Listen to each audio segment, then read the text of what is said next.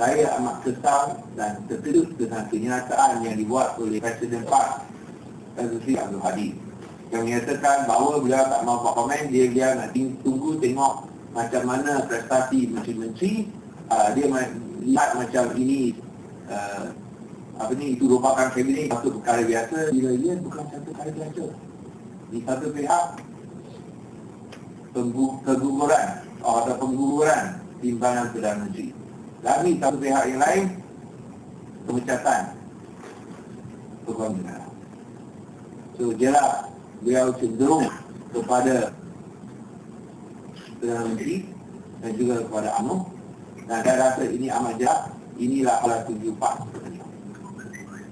Yang pemimpin-pemimpin lain boleh pertikaikan perkara ini, pemimpin-pemimpin PAS lain boleh pertikaikan perkara ini, tapi itu tak bermakna langsung.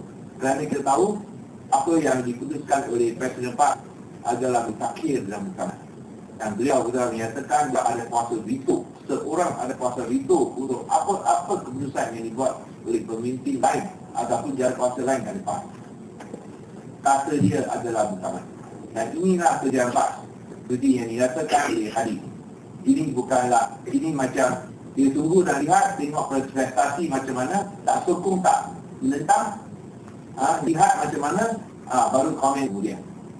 Tak ambil kira ini satu perkembangan besar, ini satu gempa bumi kerana melibatkan pengguguran seorang timbalan Perdana Menteri dan juga kehujatan Tuan Negara.